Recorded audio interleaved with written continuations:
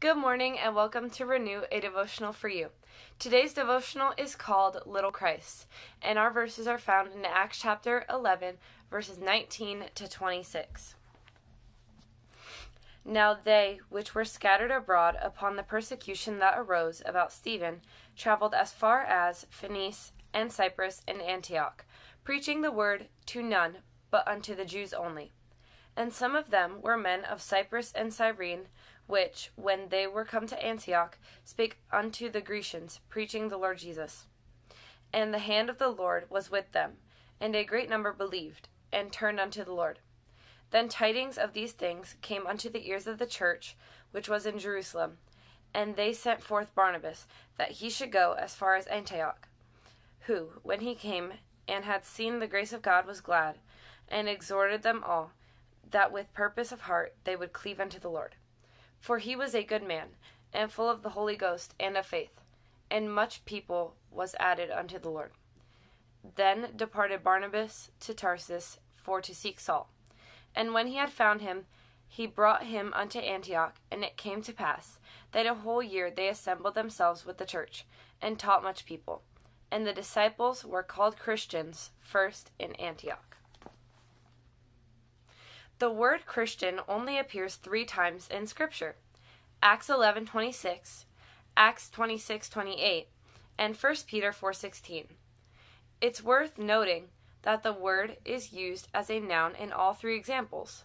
Today, the term Christian is often used as an adjective. Christian camp, Christian college, music, books, etc. The word is frequently used as a label, but in reality, it should be a lifestyle. In the city of Antioch, the people heard the preaching of God's word and the gospel of Jesus Christ. Acts 11, 19, and 20. As a result, a great number believed, and a great number turned unto the Lord, in verse 21. Needless to say, there was a significant change that occurred in those people's lives. There is one additional thing that made them deserve a title like Christian. Barnabas came from Jerusalem and exhorted them that they would cleave unto the Lord in verse 23. It was like Jesus became everything to these people, and they began to live like him and for him. It's no surprise these believers were called Christians, which means little Christ.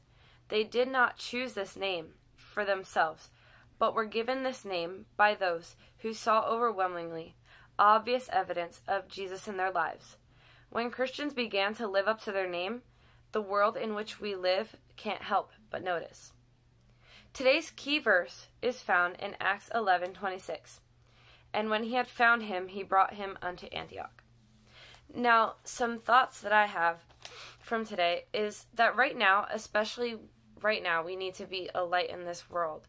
And when someone sees us, our goal should be for them to think of us as different and not like the rest of the world. Now, the thought to glow today is when Christians begin to live up to their name, the world can't help but notice. So I'm going to pray now. Dear Heavenly Father, thank you for this day. Thank you so much for all you do for us, Lord Jesus. Thank you for saving us, Lord. Thank you for being uh, just so merciful and gracious towards us, Lord. Thank you for loving us each and every single day, God. Thank you for protecting and guiding us, Lord. I pray that we would live up to to your standards, Lord Jesus, and that we would follow you, Lord. And in your name, Jesus, amen. Have a great day, and don't forget to join us tomorrow on Renew.